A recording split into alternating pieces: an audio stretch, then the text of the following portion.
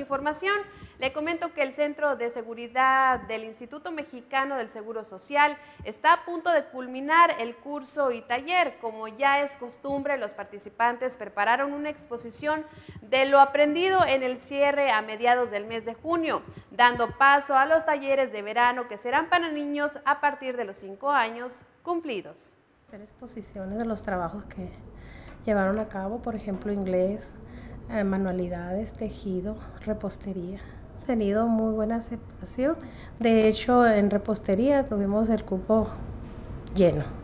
Lo que viene siendo inglés también. Nada más que como que ya cerrando, como que desertan un poquito, pero sí tuvimos buena aceptación.